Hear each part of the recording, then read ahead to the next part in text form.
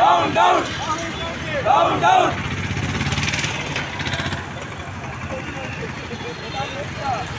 Thank you.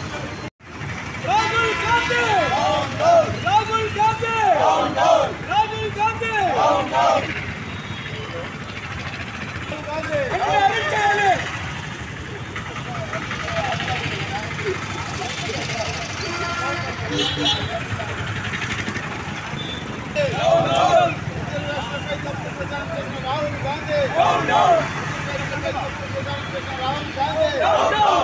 Gandhi Rahul Gandhi రిజర్వేషన్లపై తప్పుడు ప్రచారం చేసిన Rahul Gandhi down down Rahul Gandhi down down Rahul Gandhi down down Rahul Gandhi down down Rahul Gandhi రిజర్వేషన్లపై కేంద్రం తప్పుడు ప్రచారం చేసిన రాహుల్ గాంధీ రాహుల్ గాంధీ రిజర్వేషన్లపై తప్పుడు ప్రచారం చేసిన రాహుల్ గాంధీ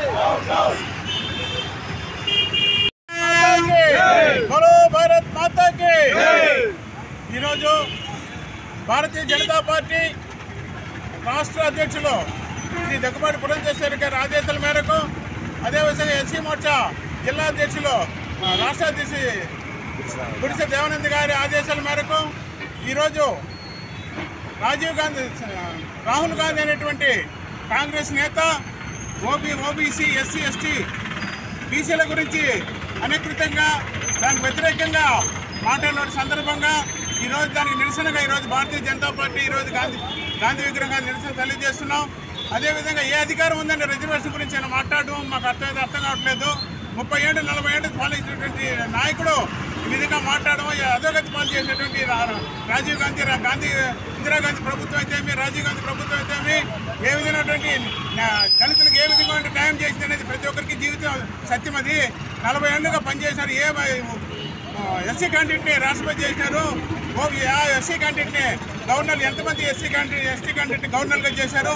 ఎంతమంది మినిస్టర్లు చేశారు? ఎంతమంది జిల్లా రాష్ట్ర పద రాష్ట్ర అధ్యక్షులుగా చేశారు?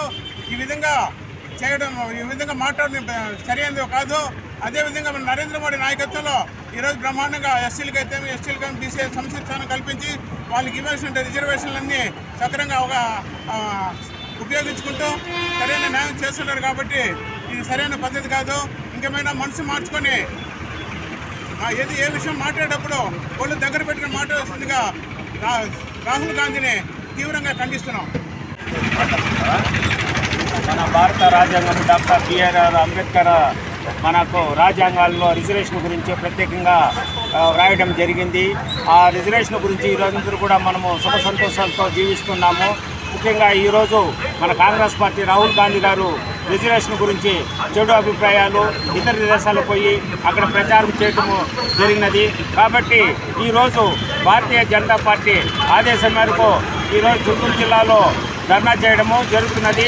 ఎస్సీ ఎస్టీ బీసీ మైనార్టీ వాళ్ళందరూ కూడా కలిసి ఈరోజు ధర్నా చేయడము జరుగుతున్నది.